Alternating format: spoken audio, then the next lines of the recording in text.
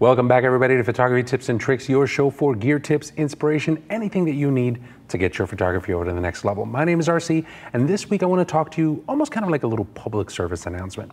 Guys, we spend a lot of money on our gear, and I think that the Lenstag system is a great way to be able to secure the work that you've done or the money that you've invested inside of your gear. Now, let me talk to you about what the service is. You're going to go to lenstag.com, right? And this is a service that you sign up for free and register your images. So basically, if you need to know more about it, you go to what is Lenstag, you get global protection. So what happens with this? You sign up for this account and they tell you, all right, well, enter in all of your camera, all right, cameras and lenses and devices that are photographic related. And once they're there, it's a database that they're managing, right? So automatically, you can go ahead and make sure that all of that stuff is available online 24 hours a day. It's already worked. There are a lot of cases that are coming in, and here's one that the Petapixel website picked up. Basically, this dude bought a lens, right? The lens was stolen from somebody. The person who bought that lens actually went and took a look at the Lenstag system. And once you go inside of it, you can say, all right, we'll take a look at this one serial number. Sure enough, that was stolen. Now, the man actually was pretty cool about it, brought it back to the original owner. But it's that kind of thing. You want to be able to have a service that's going to keep track of all of this stuff. And then at that point, you know, should anything happen to your gear, somebody goes over to the Lenstag system and checks it out. They can see whether or not it's been lost or stolen. So in that, I think it's really, really cool. Now, the other thing that I think is pretty cool is that once your gear is verified, you have access to updated, right, new and used values for your gear.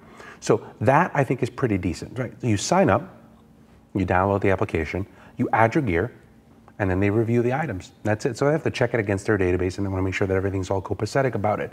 But I figured, why not actually take you through this? So I have the app here on my phone, so I've already done that. Let's go ahead and log in here, make sure that everything looks like it's okay. All right, so now I have this already on my phone. So I've downloaded the app. I'm gonna go to Lenstag, and you'll see that it shows my gear. Tap the add button to add your gear.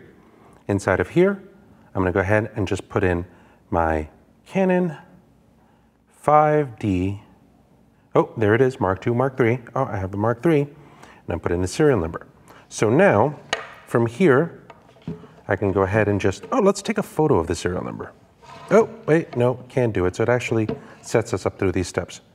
I'm going to go over here to the serial number, and inside of the serial number, I'll go ahead and put this in.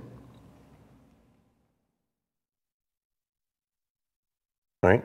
Once that's done there, I'll go ahead and take a photo of the serial, accesses the camera, make sure that that's all set, take a picture, looks good. It uploads the image. That's it. All you have to do is just go through that for all of your other pieces of gear. Now you have all of that information in one spot. So I like the fact that they keep a database. I like the fact that should something happen, people can check against the system and see if my items have been lost.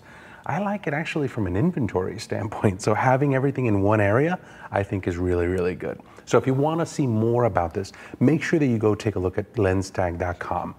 There, you can sign up for your free account. You can add all of your information. You can see all of that stuff online. And I think it's a great movement for that. Now, if you're watching this on YouTube, I do want to talk to you about our second section, which is how to be able to use wide lenses and long lenses when you're doing portrait photography. Make sure that you click on the link below so that you can go over to the Kelby TV site and watch the rest of the episode.